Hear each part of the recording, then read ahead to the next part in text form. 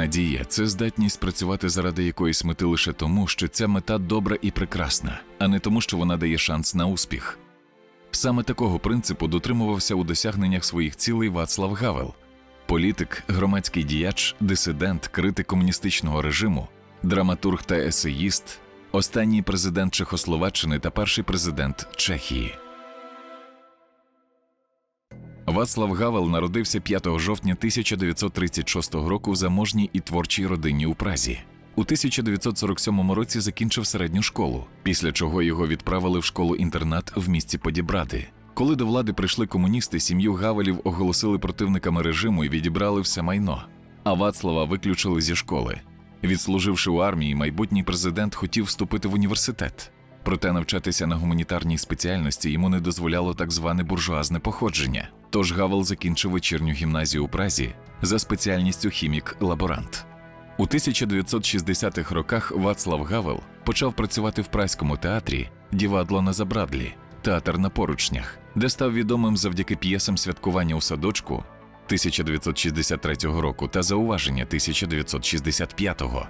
Ще з того часу чеська цензура починає забороняти його твори.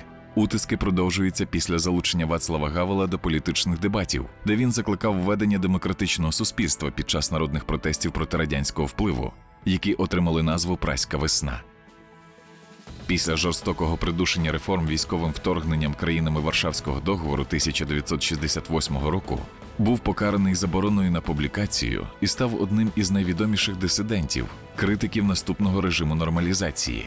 Він захищав права політичних в'язнів і став співзасновником і одним із перших спікерів громадянської ініціативи із захисту прав людини Хартії 77.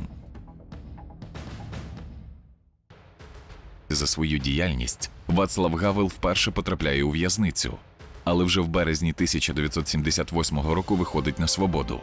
Другий тюремний термін відбуває з весни 1979 до лютого 1983 року.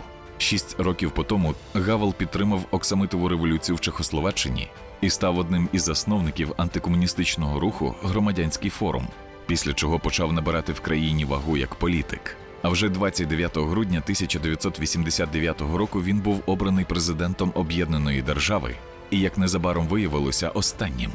Гавел підтримував спрямування країни до парламентської демократії і політичних структур західної цивілізації. Після розпаду Чехословаччини його двічі поспіль обирали президентом Чеської Республіки. Вперше у 1993 році і ще раз у 1998. Утретє обрати не дозволяла Конституція країни. Тож у січні 2003-го він пішов з посади, приєднавшись до руху зелених. Гавел вивів Чеську республіку з членства у Варшавському договорі та привів до НАТО, членом якого Чехія стала у 1999 році. Наполягав на вступі Чеської республіки до Європейського Союзу, що відбулося у 2004-му.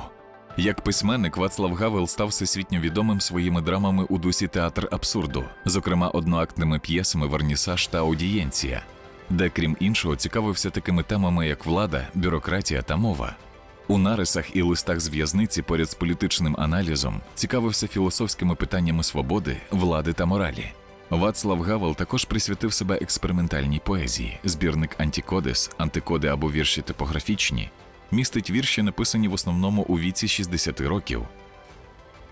Вацлав Гавел помер в 2011 році на 76-му році життя в своєму будинку у місті Градичак. Перший президент Чехії назавжди залишається в пам'яті свого народу і того світу, який він намагався змінити, гармонізувати та вдосконалити. Він наголошував, що надзвичайно любить гармонію, спокій, загальну згоду, мир і дружнє порозуміння усіх з усіма.